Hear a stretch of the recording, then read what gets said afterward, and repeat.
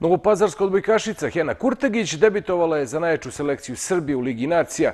Ona je u kratkom nastupu u porazu od Sjedinjenih američkih država posle pet neizvesnih setova u Antali na sjajan način izblokirala korektorku olimpijskih šampionki Annie Drews.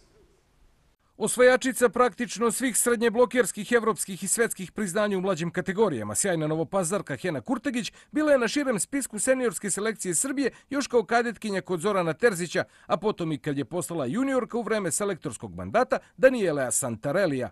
Kod Giovanni Gvidetije došlo je vreme za prve minute. Srbije je na startu Lige nacije izgubila od Sjedinjenih država sa 2-3 u setovima 20-25, 25-19, 25-21, 21-25 i 12-15.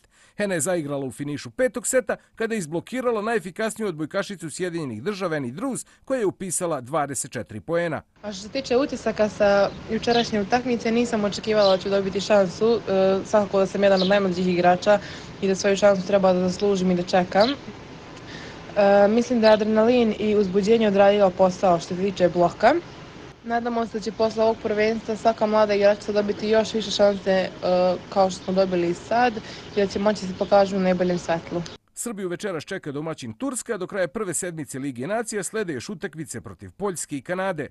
Atmosfera je odlična i očekivanja su naravno na najvišem nivou, kao i na svakom drugom takmičenju, nebitno da li bilo juniorsko ili kadetsko ili mlađe senjorsko prvenstvo ili naravno senjorsko e, i nebitno koja vrsta takmičenja je u pitanju. E, svako se juri taj plasman do, do polufinale, finala, onda i zlato.